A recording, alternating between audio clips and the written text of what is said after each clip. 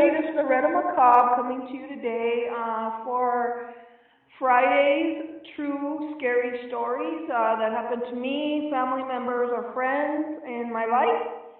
Uh, so today I'm going to do another story when I was a little girl, and uh, we this is the same street south as our Street, and uh, I was about 12 years old when this happened. Um, when we moved in at the other end of our neighborhood, there was an abandoned home. It was a two-story, kind of like a Victorian home. It was all boarded up, but um, the story went, I don't know, I didn't, never witnessed it or anything, and I never even looked it up. Um, there was a man who had murdered his wife in that house and then had killed himself in that house.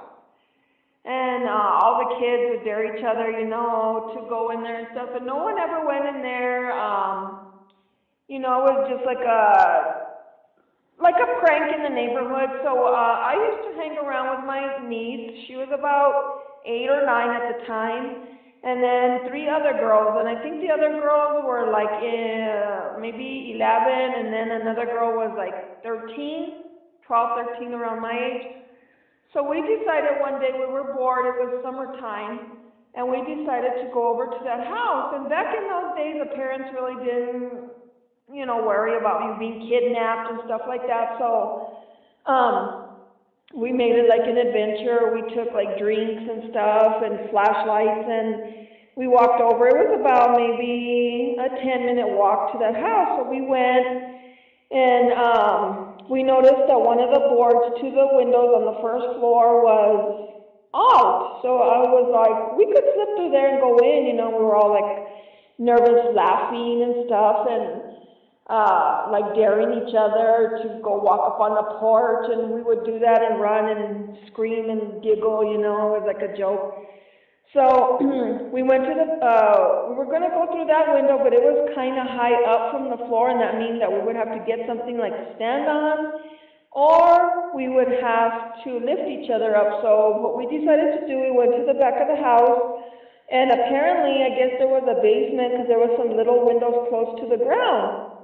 And, uh, you know, a lot of the windows have been broken. You know, it was a really old house, and, um, so we decided to go into that little window. So we went in, and the basement was small. It wasn't uh, too big, and I remember it had like this like work table, but it was all uh, already all rotted. And then I remember large beams in there holding up the house. You know the beams that uh, support beams. And uh, there was really nothing much in there but like cobwebs and dirt and stuff, and we were looking around with the flashlights, and um, you know, nothing happened, so we decided to go up the steps, and the steps were only like maybe eight steps to get up to the house. So we climbed up the eight steps, and the door opened easily, and uh, there was like uh, graffiti in the house, and the house was pretty much empty with like a lot of uh, like broken glass and like a there was like a few dishes and there was really nothing special in there. So uh, when we came in through from the basement door, the first thing we came in was the kitchen, and it was I remember blue and white, and it was really really dark in there. You know, at the time that we went, it was like about four o'clock in the afternoon in the summer. The sun was still out, but since the windows were boarded, it was dark in there, so we had our flashlights and, um, you know, we were like exploring and stuff and making noise and stuff. And I could have sworn I heard footsteps.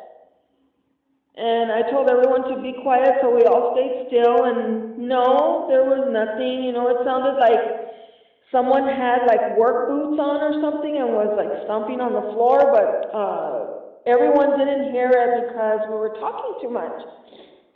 So then we kind of quieted down, and then the next room we walked into was the living room, and there was nothing special, just a square room. There was a fireplace, and the mantle had been broken. You know, there was nothing special. And then all of a sudden we heard like a little child's giggle, and our eyes got huge, huge.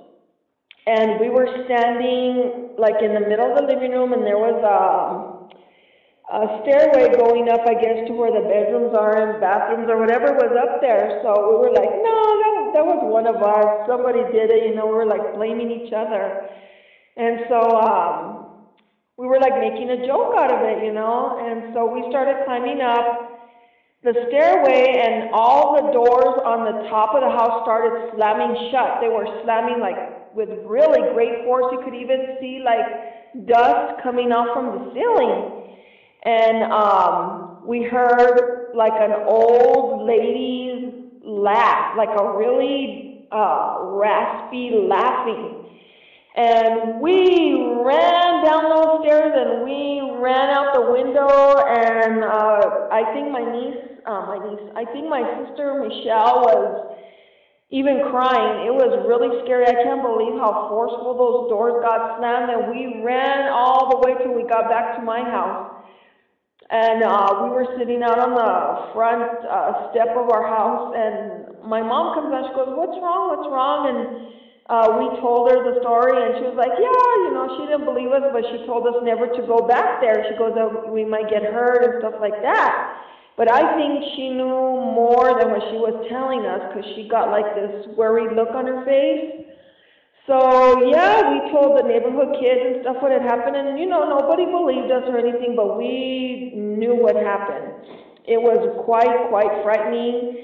And um, I don't even know if that house is still standing there anymore, but it was a very creepy house. Imagine the creepiest house you could think of, and that would be it. And um, I don't know, I just, it was really, really scary at the time, and I wouldn't go back in that house again. So yeah, that's one another one of my stories for this True Story uh, Friday.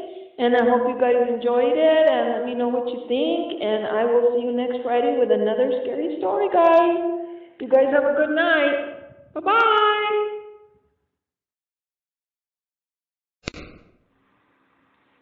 Hello, everybody. This is Loretta Macabre coming.